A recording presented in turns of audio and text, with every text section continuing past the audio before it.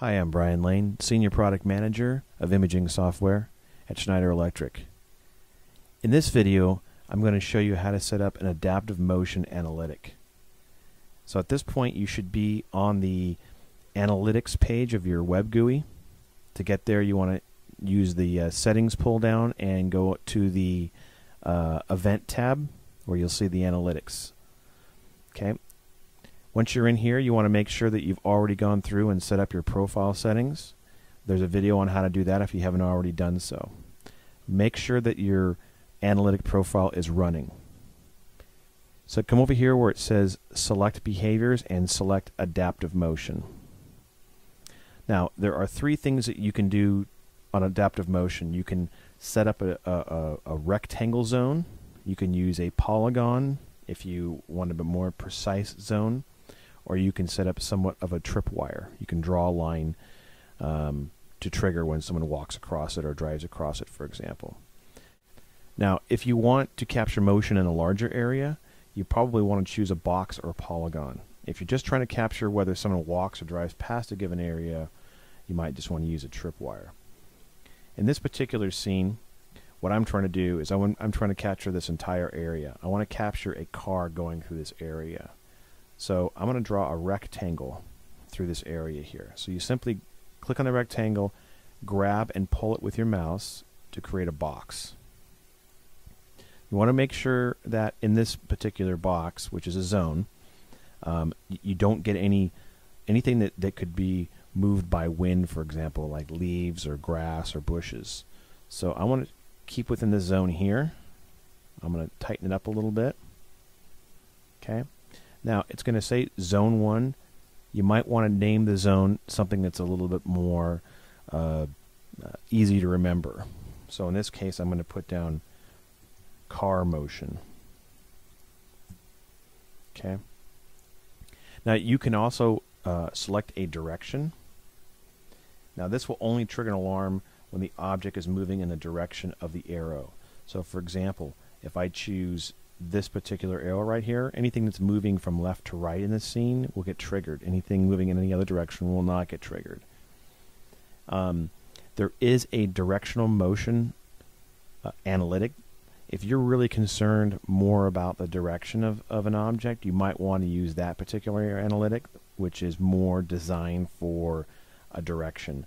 In this particular analytic, I'm just going to select all because I'm not concerned with direction that, that a car is going to go through this Okay.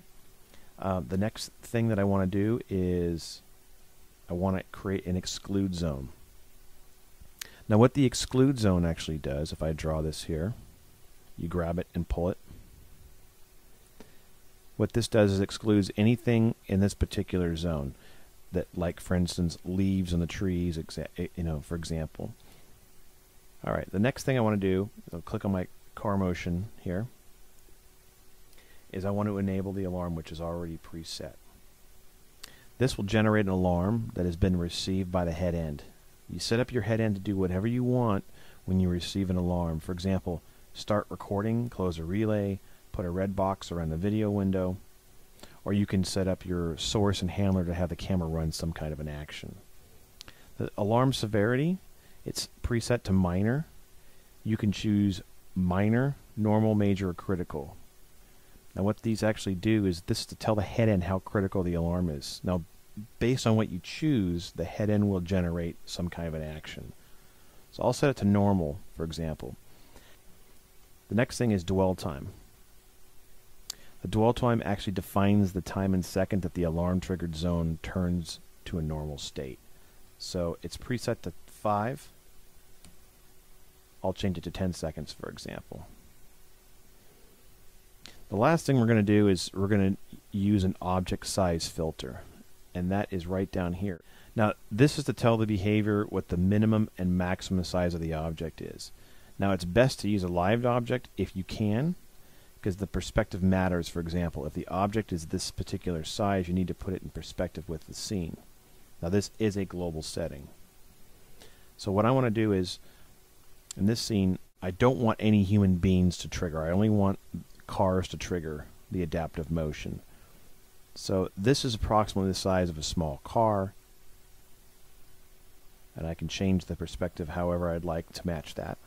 So this would be the minimum size of an object. Okay, so for example, this size here.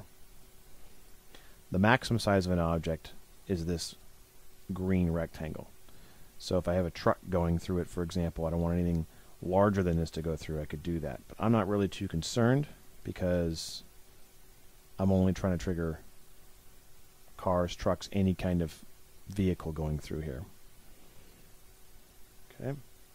Now after you've done this, what you want to make sure that you do is you click on activate behavior. You want to make sure that you are actually running your profile. And then you want to save down here. You want to click on save the current profile. Okay. Now that you've done this, your analytic now is now live, and you can be able to see um, what happens um, by going over here to your live tab. Okay, under your live tab, if you click on primary stream right here and say select stream, you can choose event stream. If you click on select, anytime someone now drives through this, this particular scene, it will go ahead and trigger an alert. So as you can see here, uh, a car came through that particular zone, and here in the event stream you can see it says car motion, which is what I named it. And it says adaptive motion detected, east parking storage, which is the name of the uh, profile triggered in car motion, which is what I named the zone.